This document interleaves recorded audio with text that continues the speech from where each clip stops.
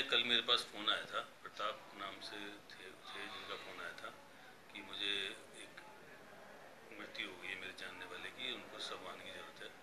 तो मैंने S I सी जो जिला अस्पताल में बैठते हैं, उनको फ़ोन किया सम्मान के लिए, लेकिन सब, उनको फ़ोन कर भी नहीं पाया था, तभी दोबारा उसका फ़ोन आया, कि मैं तो बॉडी को ले जा रहा हूँ, अगर आप नहीं भेज पा रहे तो।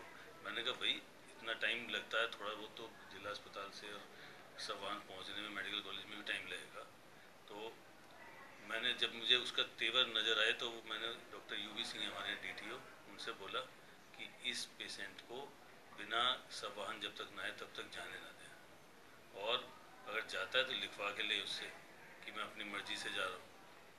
तो उन्होंने जब फ़ोन किया तो डॉक्टर यू सिंह ने मुझे बताया कि वो तो पंद्रह मिनट पहले निकल ही चुके हैं आधे घंटे पहले। ऑलरेडी निकल चुके थे। यानी वो अपनी मर्ज़ी से आरोप कि वो करीब घंटे इंतज़ार करता रहा। नहीं नहीं ये गलत है।